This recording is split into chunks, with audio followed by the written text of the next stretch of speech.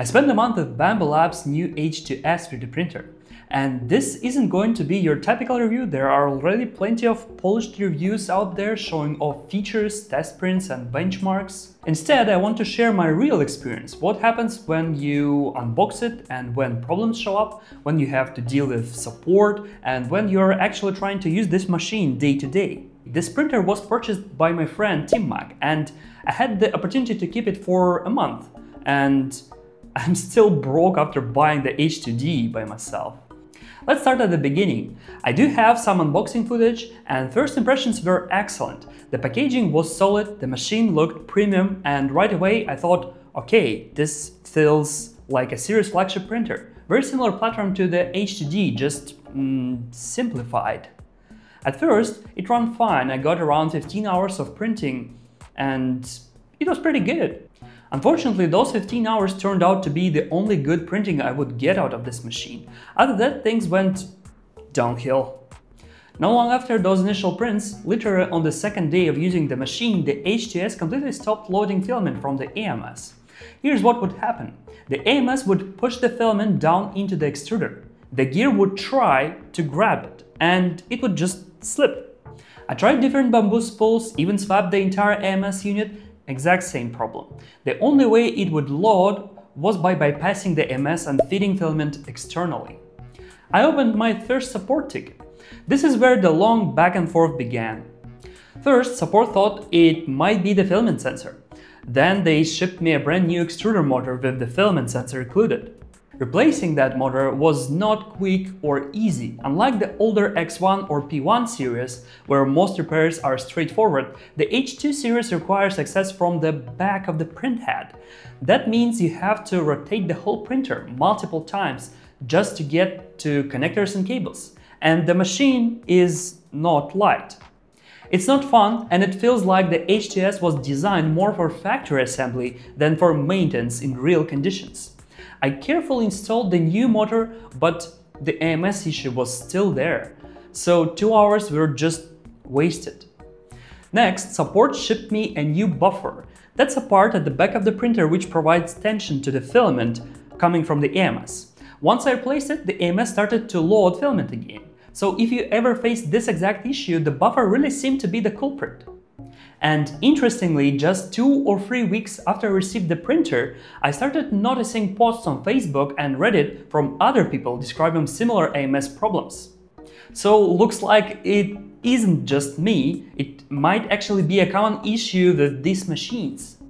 Unfortunately, fixing one problem created another. Right after the AMS started working, a brand new error appeared, extrusion force um, sensor abnormal and at this point printing was basically over.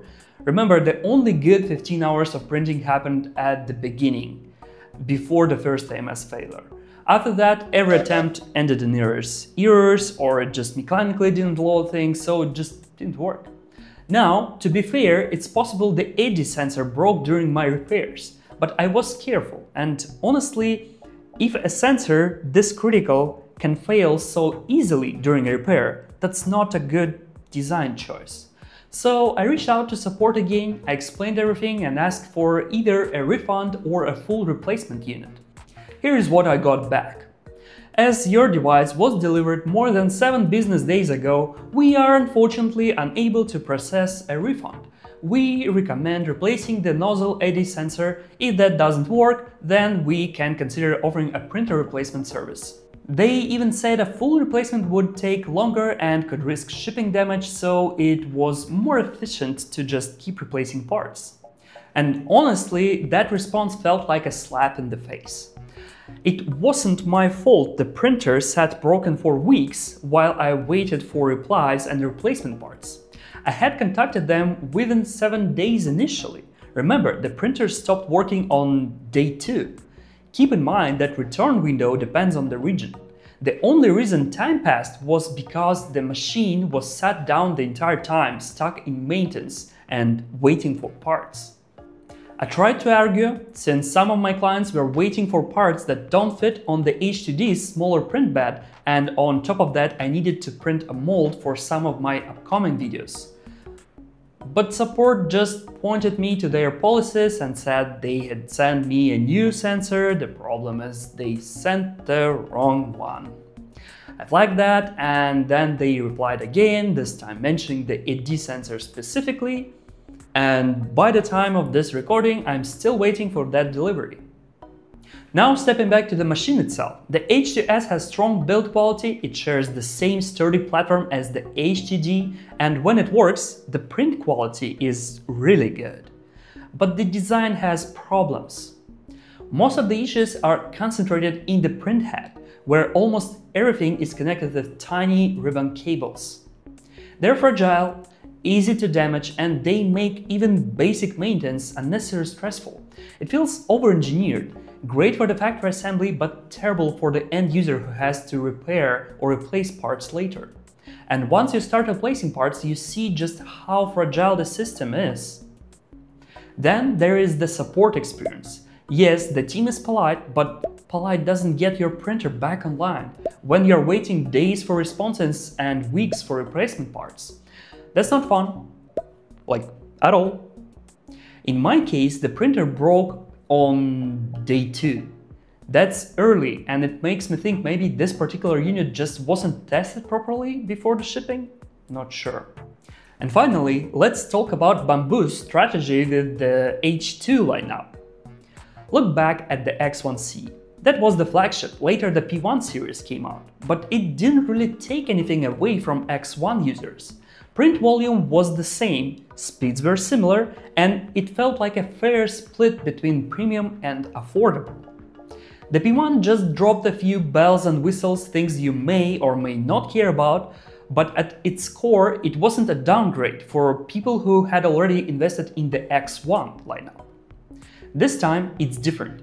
We bought the flagship H2D, the most expensive printer, and then, just a couple of months later, Bambu released the H2S, which is cheaper, prints bigger, and prints faster. To give you numbers, the H2D has a slightly smaller build volume, while the H2S comes in about 5% larger overall. When you're maxing out the print bed, that 5% really does make a difference. Print speed is harder to measure, but because the H2S print head is lighter and simpler, you feel it on big jobs. Take something like a helmet, a print that normally takes a full day, could finish 2 to 3 hours faster on the H2S. Of course, for multi-material or multicolor jobs, the H2D can still be faster thanks to the dual extruder, but for straight engineering parts, the H2S beats it. And then there is the price. The H2S is almost half the cost of the H2D, so not only do you get bigger and faster, you also spend way less. So instead of serving different audiences, it feels like early adopters of the H2D paid more for less. Honestly, it feels like Bambu tried to pay off their R&D expenses by pushing the expensive machine first without announcing the rest of the lineup. And only later did they reveal the cheaper version.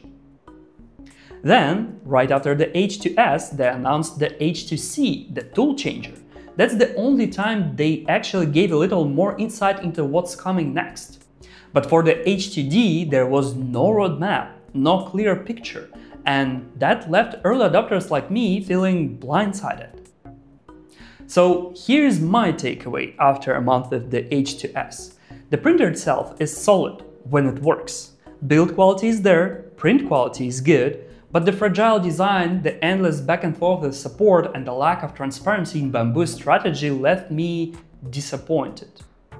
This machine spent more time waiting for parts than actually printing, and while I like the H2S more than H2D for my workflow, I can't ignore the experience I had with support and quality control.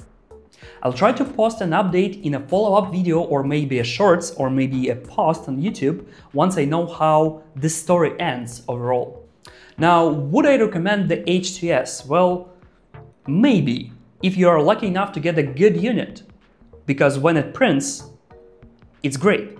But if you are unlucky like me, you'll spend more time troubleshooting than printing, which is not fun. And that is my month with the Bambu H2S. If you have had a similar experience, let me know in the comments down below. I'd love to hear if others run into the same issues. And if you found this useful, hit those like and subscribe buttons because I've got more builds, projects, and hopefully more working machines coming soon. And thanks for watching.